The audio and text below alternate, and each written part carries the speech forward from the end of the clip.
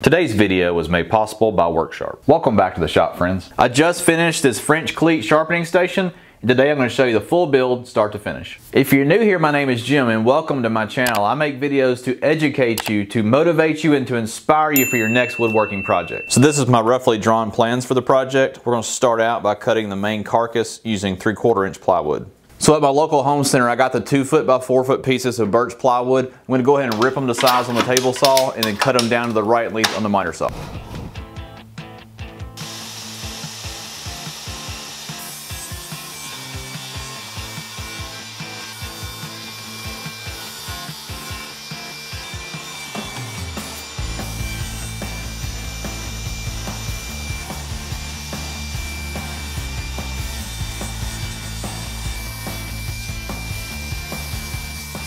So I've gotten the four pieces of plywood cut with a table saw to width for the outer carcass of the cabinet. So now I need to turn my attention to the shelves. They actually need to be a half inch less in width that way I can inset the back of the cabinet. So once I get the width established with the table saw, then we'll head over to the miter saw and get them cut to length.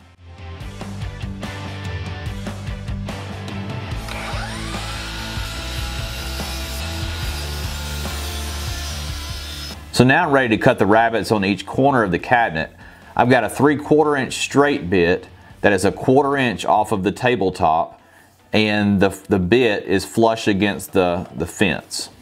That will create a rabbet that is a quarter inch deep and 3 quarter inch wide. So I just dry fit the outer walls of the cabinet. It fits really well. It's measuring two foot wide by two foot tall. So I've got some half inch plywood that I'm going to use for the back of the cabinet and I want to recess that into the walls of the cabinet. So I'm going to go ahead and use the same rabbet setup on the router table and we'll go ahead and cut that rabbet around the periphery of the cabinet.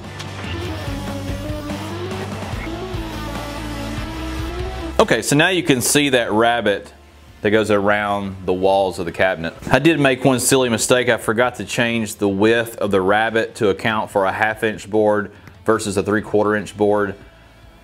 But uh, I guess I'll just end up either having to use a three quarter inch board or just insetting the back wall a little bit farther than intended. So now I need to go ahead and cut those dados in the walls of the cabinet that will house the shelf divider.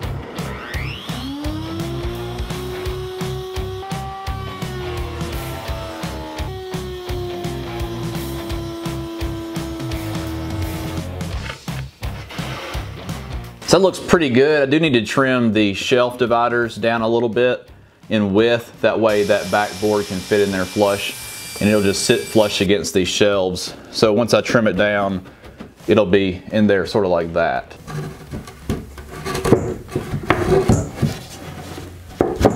So now we need to create the compartment that will hold the sharpening disc for the Worksharp system.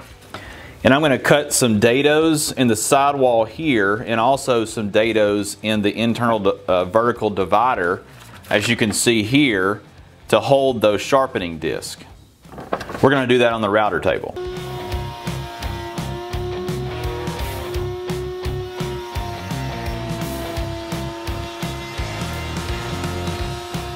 I took my eye off that router bit for just a split second and I looked at the camera. Be super careful with these high powered routers guys. They can be pretty dangerous. So I've been pushing the router fence farther and farther from the router bit each time that I cut one of these dados. But now I've ran out of real estate on my router table. So now that I ran out of room on the router table, I'm gonna cut these final two dados on each board using the table saw sled.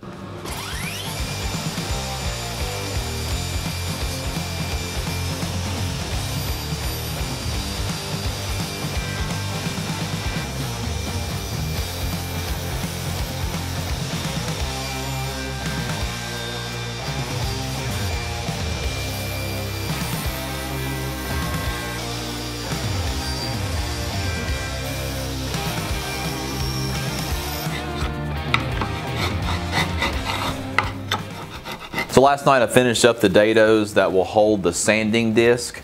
I've got the internal divider that has the dados that match the dados on the side of the cabinet. So now I need to cut a dado in the top and in the middle shelf here that will hold this internal divider in like that.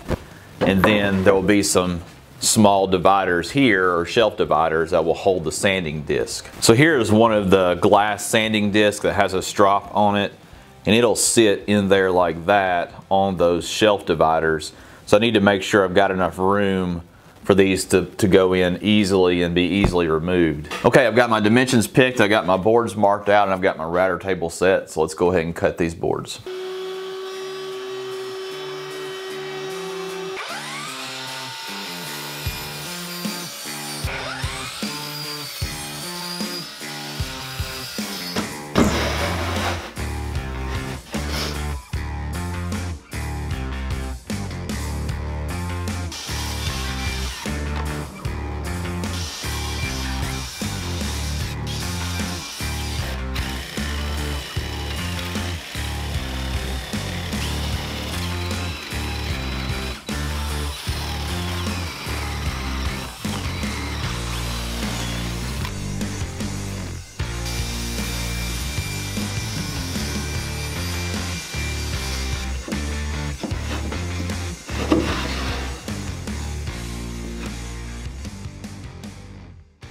I'm really amazed at how much work it is to create the sort of framework for a cabinet like this. And it's also really amazing how much wood it takes. This is a lot of plywood to build this small cabinet. One thing that I'm learning from building this cabinet is it would be a lot easier uh, to cut all this plywood if you had a big cabinet grade table saw, but no more than I do. This the uh, DeWalt that I have is certainly adequate. So I think now I'm to the point where I can go ahead and break it down and lightly sand it, get all the rough edges off of it and the splinters and then glue up the, the carcass of the cabinet and then we can move on to some of the finishing touches.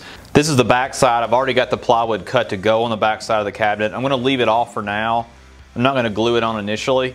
Uh, I need to make sure that I can get the drawer runners screwed into the walls of the cabinet before I attach it.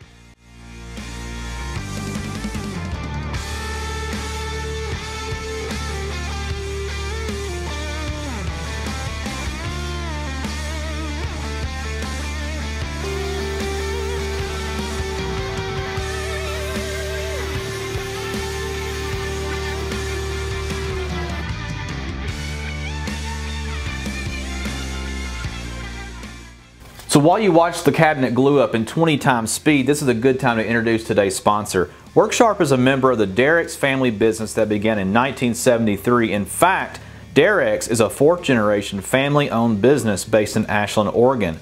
The Worksharp 3000 is designed to sharpen chisel irons, plane irons, and turning tools using an adhesive backed abrasive mounted to a spinning glass wheel. I was looking on Amazon this morning and the Worksharp 3000 has 488 customer ratings with 4.4 out of 5 stars. Many of the reviewers mentioned it's easy to use and a great value for the money.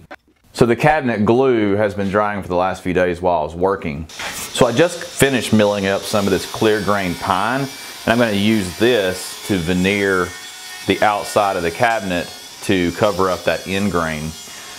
This was simply some scraps I had left over and I ran them through the table saw and cut them down to an inch in width they're three quarter inch in thickness. Then I ran it through the planer just to smooth everything up. So now I'm just gonna go ahead and cut these pieces to length in the miter saw, glue and brad them to the face of the cabinet. It's gonna make it look really nice.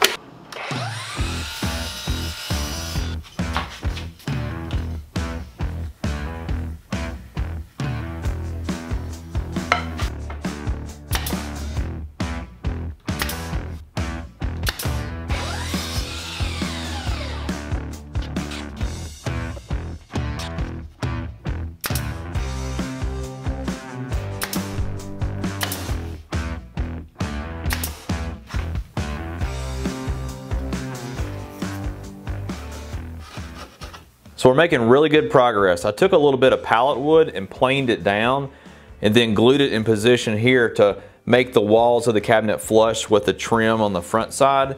That way when I put my drawer runners in, they will be flush with the trim and the sidewall and I won't have to put any type of uh, shims or anything in there. So I'm ready to put in my drawer runners now. I'm gonna go ahead and attach those to the cabinet, take some measurements, and then go ahead and mill up the pieces for the drawers.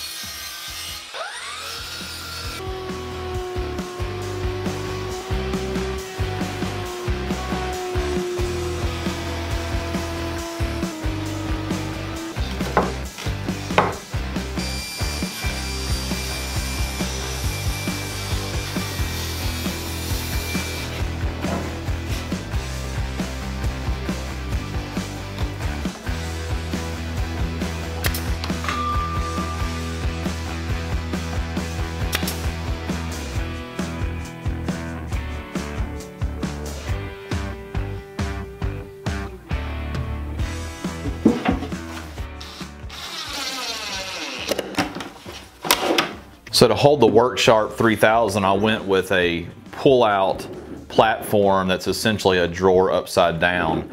The WorkSharp will sit here and I can pull it out and use it while it's attached to the cabinet. So I've got the storage drawer in as well.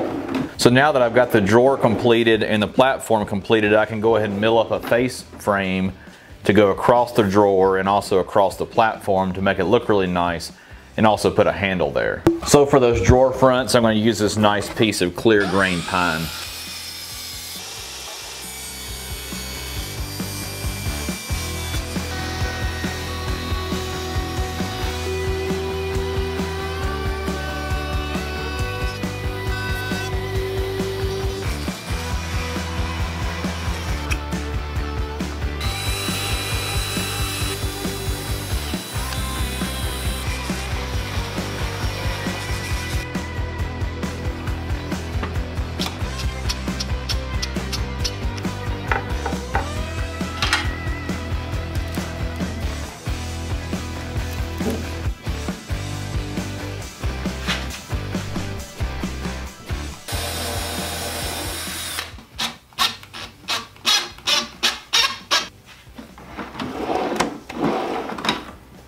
So last night I finished up adding the drawer fronts and this morning I'm going to go ahead and fill the nail holes and start sanding and preparing for finish.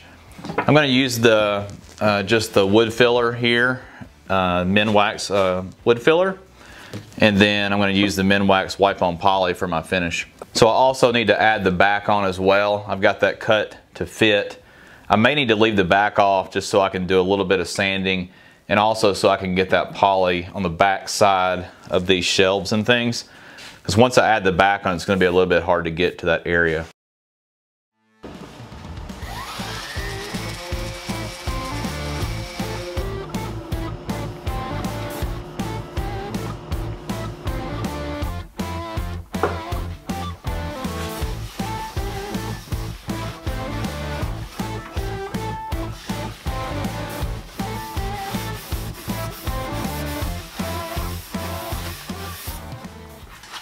Okay guys, I've got two coats of poly and I sanded in between each coat. I went ahead and added the cleat to the back of the cabinet to hang it on the wall. Also put a spacer on the bottom because the cabinet needs to be spaced away from the wall equally as much as the cleat. I've got a drawer to store most of my sharpening accessories and I've also got this slot at the bottom to hold my diamond stones.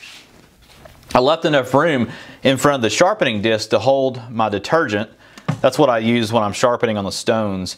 And then I've got a space for each one of my sharpening disc or wheels. So I've got a place for the work sharp and I can just pull the drawer out and um, use it and then put the drawer back in. I did put a LED underneath so it's a little bit easier to see you know what I'm doing while I'm sharpening. Thanks for watching guys. If you enjoyed this project, I've got a whole playlist on French cleat uh, tool cabinets that I'd love for you to, to take a look at and I'll see you guys over there. Also coming soon, I'm gonna show you how my new cabinet and work sharp system, how that's going to change my workflow for sharpening my chisels and plane irons. So I'll be sure to show that soon on the channel.